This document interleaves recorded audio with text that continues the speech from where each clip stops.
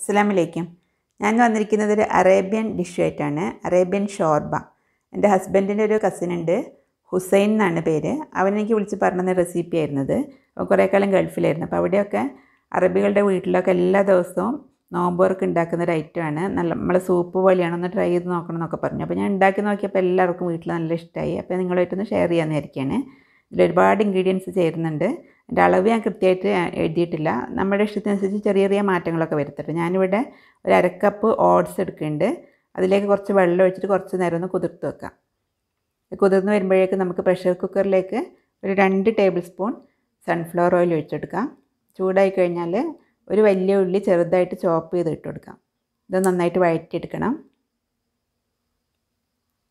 വഴന്ന് വന്നു കഴിഞ്ഞാൽ നമുക്ക് ഫ്ലെയിം ഒന്ന് കുറച്ച് വെച്ചതിന് ശേഷം കുറച്ച് ഇൻഗ്രീഡിയൻസ് ചേർക്കാനുണ്ട്.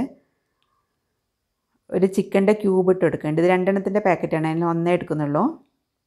ഈ ക്യൂബിൽ നല്ല ഉപ്പുണ്ടാവും കേട്ടോ അപ്പോൾ അതുകൊണ്ട് നമ്മൾ ഉപ്പ് ചേർക്കുമ്പോൾ ഒന്ന് ശ്രദ്ധിച്ച് ചേർത്താൽ മതി.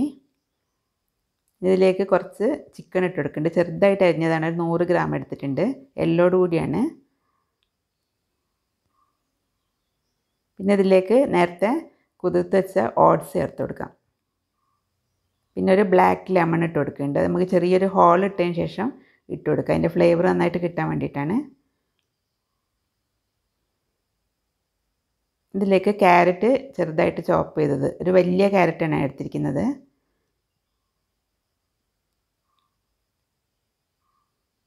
പിന്നെ കുറച്ച് ചെറിയ ജീരകം പൊടിച്ചെടുത്തതാണ്. ഒരു മുക്കാൽ ടീസ്പൂൺ ഒരു ടീസ്പൂൺ ഗരം മസാലപ്പൊടി. ഒരു tablespoon ginger garlic paste കുറച്ച് ഉപ്പ്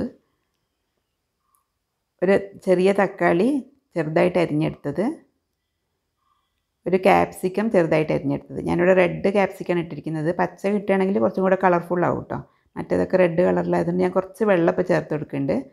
ഇതിലേക്ക് ആവശ്യത്തിനുള്ള വെള്ളം ചേർത്ത് കൊടുക്കുന്നതെന്ന് വെച്ചാൽ ഇപ്പം സ്റ്റൗ തന്നെയാണ് ഇരിക്കുന്നത്. അപ്പോൾ അടിക്ക് അരിഞ്ഞാതിരിക്കാൻ വേണ്ടിയിട്ടാണ്. ഇതിൽ കുറച്ചും കൂടി ഇൻഗ്രീഡിയൻസ് ചേർക്കാനുണ്ട് കേട്ടോ ഞാനിവിടെ ഒരു രണ്ടര കപ്പ് വെള്ളം ഒഴിച്ചെടുത്തിട്ടുണ്ട്.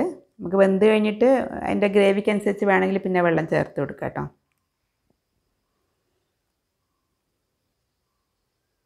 ഇനി ഇതിലേക്ക് ചേർത്ത് കൊടുക്കാനുള്ളത് കുറച്ച് കുരുമുളകാണ്. ഇത് മണിയായിട്ട് ഞങ്ങൾക്ക് ഇട്ട് കൊടുക്കുകയാണ്. ഒരു ടീസ്പൂണൊക്കെ ഇട്ട് കൊടുക്കാം. പിന്നെ ചെറിയൊരു കഷ്ണം പട്ട മൂന്നോ നാലോ ഗ്രാമ്പു ഒരു ടീസ്പൂൺ മല്ലി അതേപോലെ മണിയായിട്ട് ഇട്ട് കൊടുക്കുക. കുറച്ച് ഏലക്കായപ്പൊടി ഒരു നുള്ളു. നമുക്കിത് മൂടി വെച്ചിട്ട് ഫ്ലെയിം കൂട്ടി കൊടുക്കുക. ഒരു വിസിൽ വന്നതിന് ശേഷം പിന്നെ ലോ ഫ്ലെയിമിലേക്ക് ആക്കി വെച്ചിട്ട് ഒരു പത്ത് മിനിറ്റൊക്കെ വെച്ച് കൊടുത്താൽ മതി. അപ്പോഴേക്കത് വെന്ത് കിട്ടും. ഇപ്പോൾ സ്റ്റീമൊക്കെ പോയിട്ടുണ്ട്. നമുക്ക് തുറന്ന് നോക്കാം. നല്ല കളർഫുൾ ഡ്രിങ്കാണ് കേട്ടോ ഇത്. ഒരുപാട് ഇൻഗ്രീഡിയൻസ് ചേരുന്നതുകൊണ്ട് തന്നെ നല്ല ഹെൽത്തിയാണ് ഇതിലേക്ക് കുറച്ച് കറിവേപ്പില കൂടി ചേർത്ത് കൊടുക്കാം. ഇതേ രീതിയിൽ നമുക്ക് മട്ടനെ കൊണ്ടും ഉണ്ടാക്കാം. അതുപോലെ തന്നെ വെജിറ്റേറിയൻ ആക്കിയിട്ടും ഉണ്ടാക്കാൻ പറ്റും. നമുക്കതിന് ഈ ചിക്കനും മട്ടനൊക്കെ ഇടുന്നതിന് പകരം ഇത്തിരി പരിപ്പ് ചേർത്തെടുത്താൽ മതി എന്നാണ് പറഞ്ഞത്. അങ്ങനെ നമുക്കൊന്ന് ട്രൈ ചെയ്ത് നോക്കണം. നമുക്കിതൊരു ബൗളിലേക്ക് മാറ്റാം കേട്ടോ. ഇത് ഉണ്ടാക്കി കഴിഞ്ഞപ്പോൾ എനിക്ക് തോന്നിയൊരു അഭിപ്രായം നമ്മൾ ചിക്കൻ ഇടുമ്പം നമ്മൾ ബോൺലെസ് ഇടുന്നതായിരിക്കും കുറച്ചും കൂടെ നല്ലത്. കഴിക്കാൻ കുറച്ചും കൂടെ എളുപ്പമായിരിക്കും. പക്ഷേ എല്ലോട് കൂടി ചിക്കൻ ആകുമ്പോൾ ടേസ്റ്റ് കൂടുതലായിരിക്കില്ല അതിന് വേണ്ടിയിട്ടായിരിക്കും ചിലപ്പോൾ അവരങ്ങനെ ചേർക്കുന്നത്.